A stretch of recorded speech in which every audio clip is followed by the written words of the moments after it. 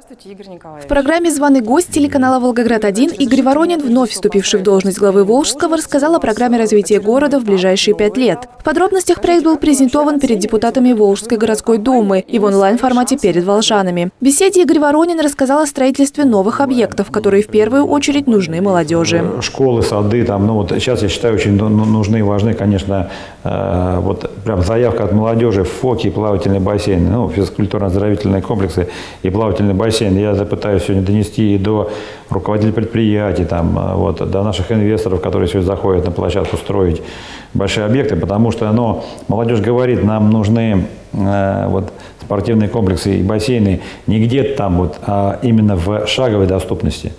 Напомним, в 2023 году в Волжском свои двери для учеников распахнула новая современная школа на тысячу мест. На открытие приезжал губернатор Волгоградской области Андрей Бочаров. Он и сообщил, что в 2027 году возможно появление еще одного среднего образовательного учреждения в 27-м микрорайоне.